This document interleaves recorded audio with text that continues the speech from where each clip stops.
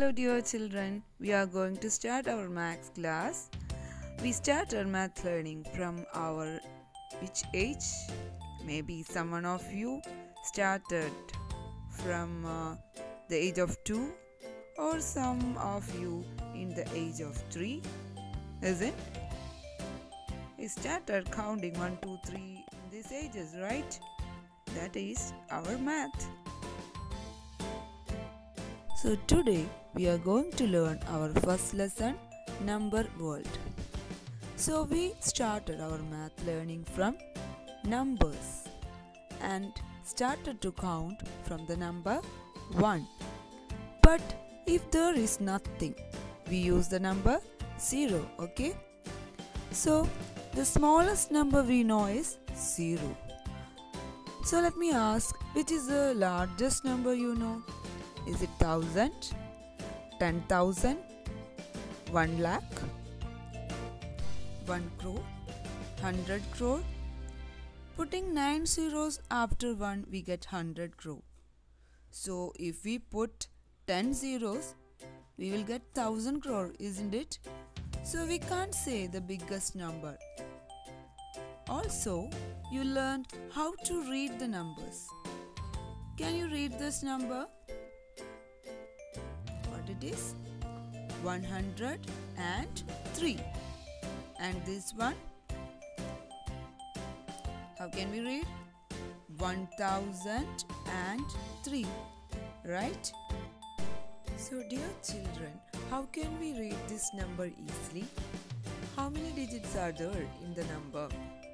1, 2, 3, 4. 4 digits. So this is the 4 digit number, right? These digits are having particular places. Do you know the places of each digit? If we know the places of digits, we can read the number easily.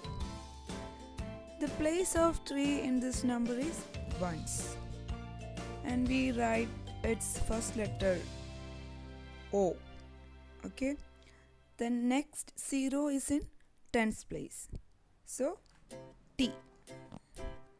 Then see next 0 is in hundred place. Hundreds place. Then we can see 1 in thousands place and we denote the letter as th okay so how can we read this number under this place thousands we have one so we can read it as 1000 then we can see in hundred and tens uh, zero is there. So no need to tell any uh, number. Okay. So 1003 clear? Then what about the next number? How can we read this? So we write the places. We can write the places over it. So uh, we start from the ones place so 9 is in ones place 8 in tens next 100 then thousand then 10,000 10,000 we denote as T TH 10,000 okay. So what is its number name? Have you noticed putting commas in the numbers?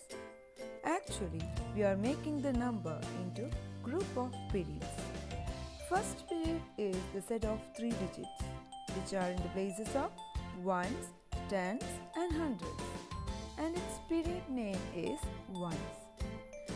The other period is only for two digits. The period name is thousands and the digits in this period are in thousand and ten thousand places. Coming to the number name of our number, under thousand period we have 25. So we can reach 25,789. Clear? What about this? We can write its place names ones, tens, hundreds, thousand, ten thousand, lakhs. So we can read it as 2 lakh 36,712.